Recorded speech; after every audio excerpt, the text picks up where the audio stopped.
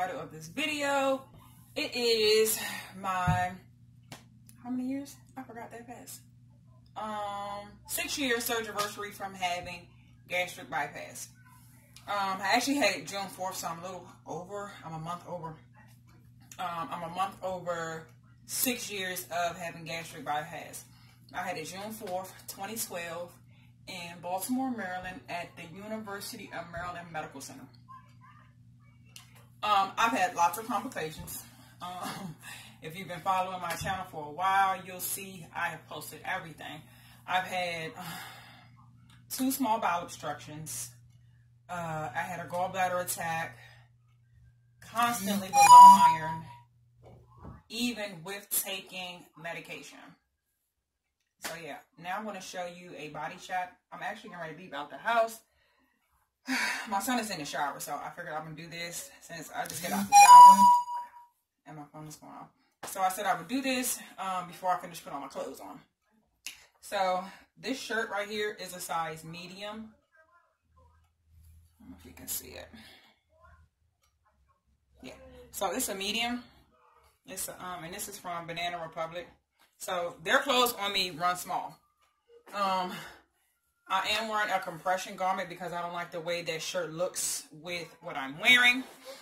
And so this is what I look like. This is my stomach. My arms.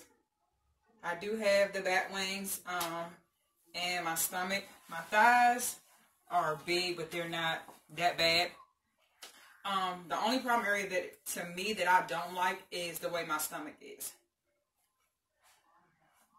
And my stomach actually used to be flat, but um, after I had, well, no, it wasn't completely flat, but after I had my twins, after I had gastric bypass, I got pregnant twice. The first time with Aaron and then with Andrew and Jordan. So this skirt right here is a size 6. I can fit it. Like I can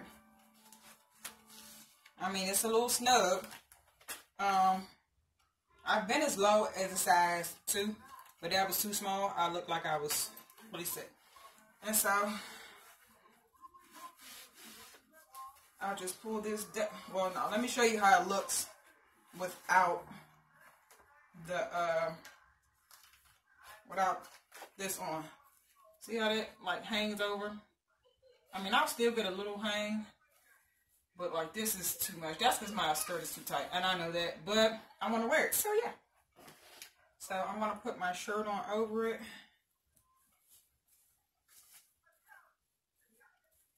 So you can see how I look with clothes on.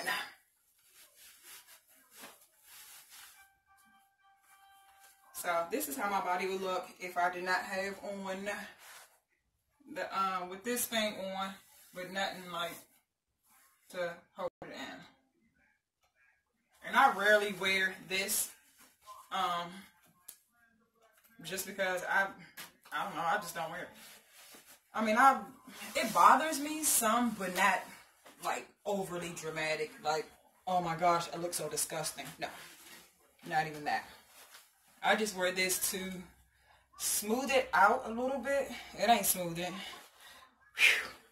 It's just rearranging it. I can't get it down off of my drawers.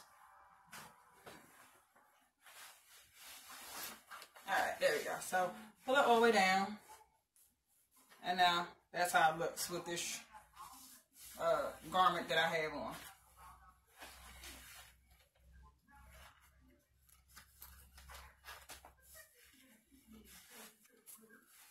See? Now that's how it looks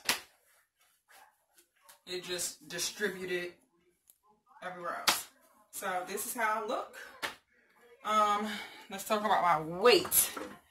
I guess I can sit on my little stool now. Next step. So my um my highest weight I was 272 pounds, and that was before I started. That was like two weeks before the pre-op diet um started. And then I went down to 268 the day of surgery.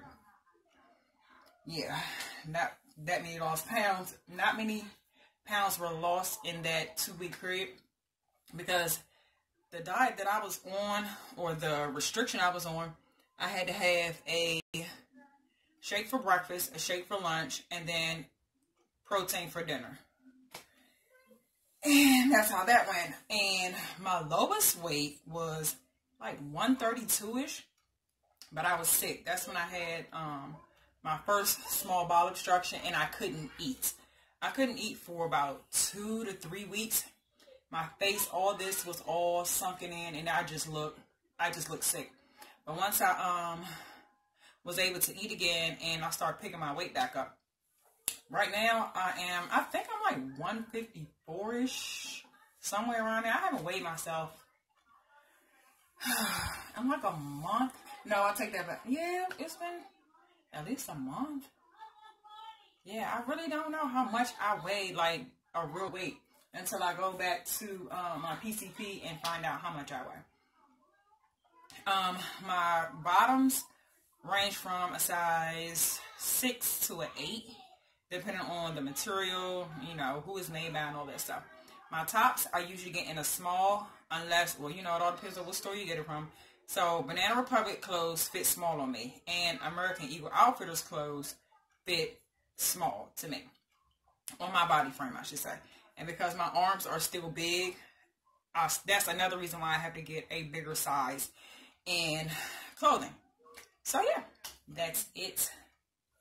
Am I happy about my decision? Yeah. Um, cause I don't think I, I mean, I probably could have if I was more disciplined.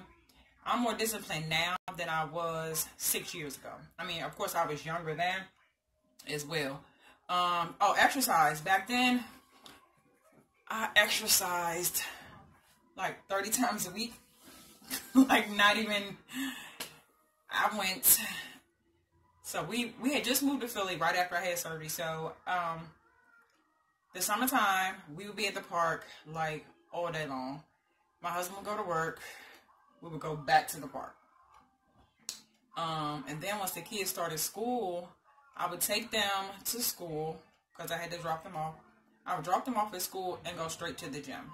My husband worked uh, second shift, so he was still asleep and we didn't have any babies in between that time. No, we had we had Ashley. No, I take that back. We had Ashley, but Ashley was five, and so either she would come with me to the YMCA or she would stay home with Andre if she was still asleep when I left out.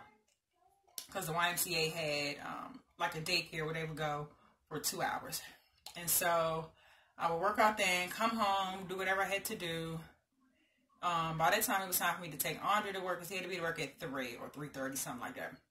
And um, I would we would pick the kids up together. I would drop them off at work, and then I would go to the park or back to the gym.